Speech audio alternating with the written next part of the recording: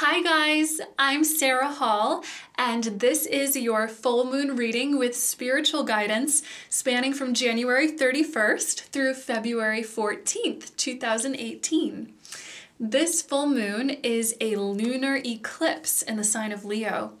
Lunar eclipses tend to really intensify the energy of the full moon, so get ready for emotions to be heightened. The universe is helping you put a spotlight on self empowerment right now. So, any of the barriers you've ever held on to that have seemingly blocked your power are now really becoming evident so that you can release them. That's right, it's time to let go of excuses, procrastination, limited thinking, or small beliefs about what you're capable of. You are powerful, and it's time for you to shine your light. You can do anything you set your mind to, and it's time to really own that truth, and that's what we're getting into during this time. Letting go of limitations can at times make us actually feel a bit vulnerable, but the more you're open to completely releasing resistance to the universe and all the lessons that it brings to you, the more easily you'll move through that process of releasing. You are entering a creative, empowered new cycle for manifestation, and you are truly being supported by the energy of this lunar eclipse because it is preparing you for that. For some of us, it might feel a little bit like spiritual boot camp, I'm feeling, where we're really feeling an inner sense of accountability for living up to our ideals, goals, and dreams. It might not be easy 100% of the time, but that's okay because this is just what you signed up for. You are here on planet Earth because your spirit wants to make changes contributing to the co creation of love and harmony among the web of life. So breathe deep and dive into it, my dear. Spend time in contemplation and introspection, as this can really provide you with insight on your personal life and empowerment for your life's purpose. And now is all about matching the flow of your personal daily living to the ideals of your life's purpose. Another blessing and benefit of the energy around this full moon is that it's bringing up a lot of divine feminine energy. All of us have a divine feminine side, no matter what gender we identify as. Your feminine side is strong, intuitive, unafraid of forces of both creation and destruction, and beautifully expressive.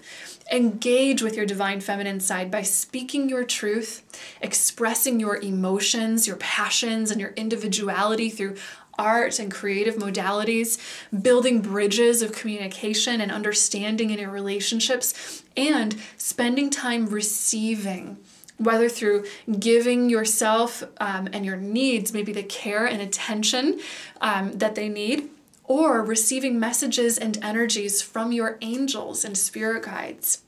The divine feminine is energizing collectively in this world right now, and you have the ability to usher it along by expressing it in your own individual life experiences. One of the goddesses who comes to mind who fits this current energy so well is the goddess Kali of the Hindu tradition. She is a goddess associated with destruction and creation, destroying the ego and limiting forces of negativity to liberate the soul. It can be a profound experience to invite this kind of energy in, clearing away the familiar, but also clearing away what was once limiting to make way for your soul's divine process of creation. Make a friend of the process of clearing and remember that you are truly capable of achieving and creating anything. Let's go to our cards to get some further guidance. Today I am working with the Goddess Oracle cards to honor the Divine Feminine energy and we'll see what we get. So as usual, we're just going to shuffle our cards and let Law of Attraction pick the three that we are meant to have for today. Our first card is the Home card with the goddess Vesta, Home.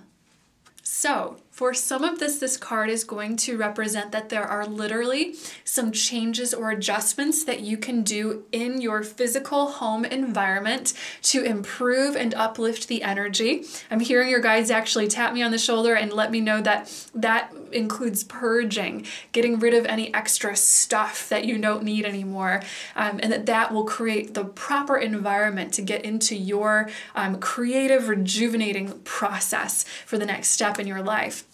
For others of us, the home card is going to represent a shift or a restart, a clearing in our inner sense of home. You are always at home within yourself, and you are the gateway to the entire universe. You and your heart are the doorway to God itself.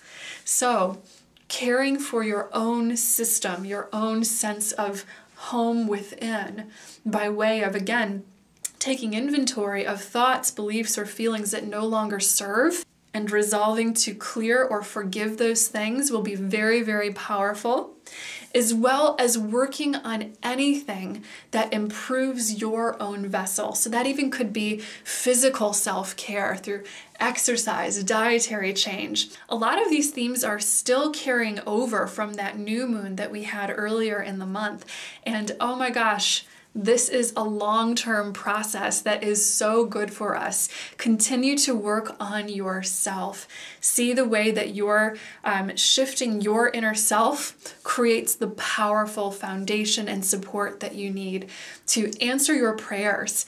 Oftentimes, the angels will actually give us action steps in answer to our prayers. So instead of just delivering the thing that we're praying or asking for to our doorstep, they will give us action steps so that we are empowered to make our own dreams come true. And that's what human life is all about. It's about the adventure and the joy of co creating and how magical it is when that process of co creating works to transform us at the soul level. It evolves us personally and collectively.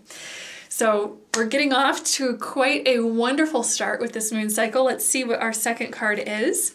Ah, the Don't Back Down card with the goddess Bridget. Don't back down. So, right away, the message that I'm getting for the Don't Back Down card is that it is incredibly important at this time in your life to really um, face the things that you feel called to do.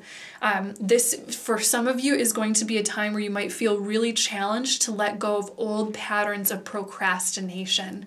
Um, I'm hearing your guides and your angels be assertive and strong with you too, saying you'll be happier when you hold yourself accountable um, for the goals that you want to do and for the actions that you are taking, the seeds that you are sowing, and how those things are directly affecting the reality that you have.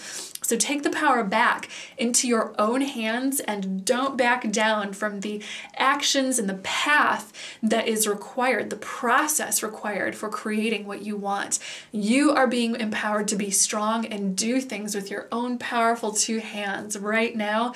And oh, the joy and oh, the benefits of doing that. Your angels are saying to trust that process.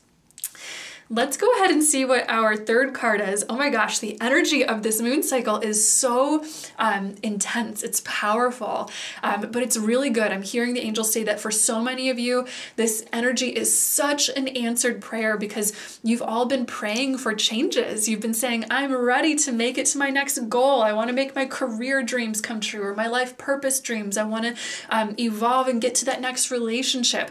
Trust the angels, trust the universe, trust what comes into your life because I'm telling you, it's all paving the way for that. And no, manifestation isn't always instantaneous on planet Earth. Sure, sometimes it is, um, but the benefits come from the process and the journey of life. So we're really getting some good stuff in the journey right now. Let's go to our third card. We have the Arts card with Saraswati, the Arts. Saraswati is one of my favorite goddesses. I um, actually, side note story, um, many years ago when I was living in Portland, Oregon, um, I went to go and see Amma. I've actually seen her many times, Amma, the hugging saint. And there was a point in the events of the day where everyone was singing, and there was a lot of singing with repeated phrases, and one of them was a devotion to the goddess Saraswati. And the energy that came through as I was just meditating and with this chanting and the singing felt so good. It felt like the most mothering, loving, inspiring, beautiful energy. And of course, Amma was there too, who has such loving, inspiring energy. Um, so just a little side story. I love her and I'm glad that she showed up in our cards for our message today. And the message that she's giving is amazing because you gotta love synchronicity. It goes right along with the messages that we had gotten earlier in our reading where the divine feminine energy is coming through to help us learn to express ourselves, to reignite our passion and our power. And I'm actually feeling that Saraswati energy coming in right now, a lot of divine mother energy. And what it's telling us as it's communicating is, dear blessed children, you are going to thrive in empowering your life goals and so forth by reigniting your life's passion. Because it's through passion that we as human beings feel the most committed and empowered in doing what we want to do. Through our love and passion, that is what causes us to never, never, never give up.